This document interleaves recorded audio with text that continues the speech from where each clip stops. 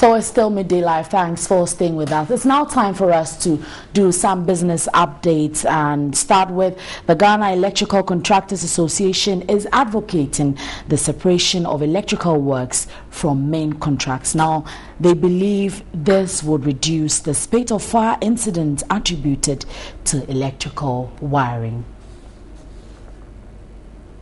Well, we'll bring you that update later, but we also take another update now from Tullow, where Tullow Oil would halt the production of oil for two weeks, starting from September 20, 2013. And the operations manager of the company, Bob Keska, explains the development is to allow the company's maintenance on some vessels to increase production. Now, Sandra Amakwi was there and she has the update company extracts 100,000 barrels of oil a day in their operations from the offshore Jubilee field. In a meeting with the Parliamentary Select Committee on Finance, the operations manager at Tullow Oil, Bob Keska, explained the extraction of oil would be halted for two weeks. The development is to do a maintenance work on the vessels in order to increase the production of oil in a day.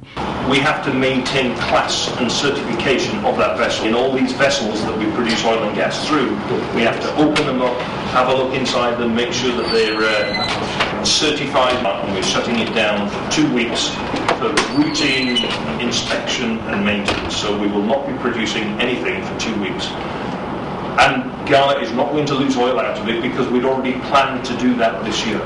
So in our production plans, we had a two-week shutdown.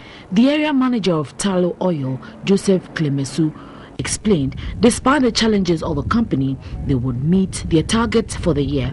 If we have legislators knowing exactly what to do here, it's very good. At least they saw firsthand what we do. They asked the right questions. They met the, the right people. We taking localization very seriously.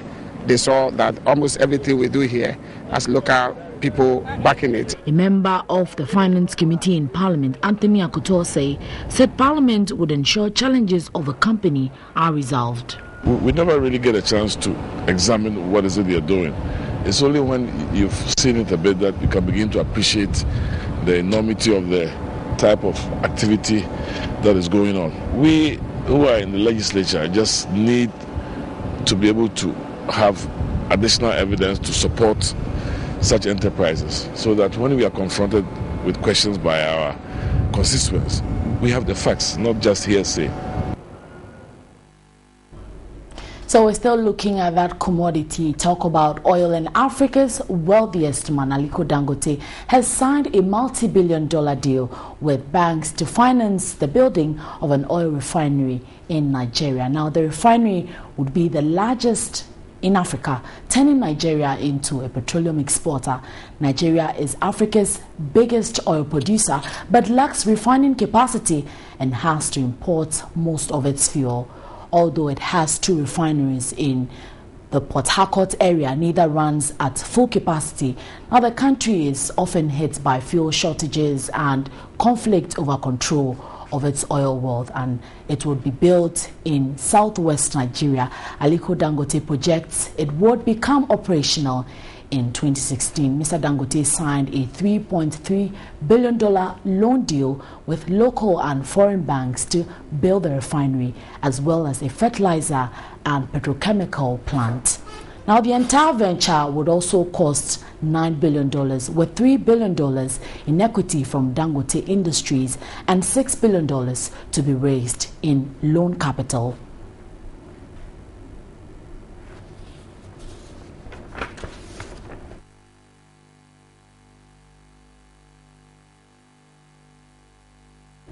And still looking at some international business updates, leaders of the G20 nations are gathering for a meeting at which they are expected to sign an agreement to fight tax avoidance by multinationals.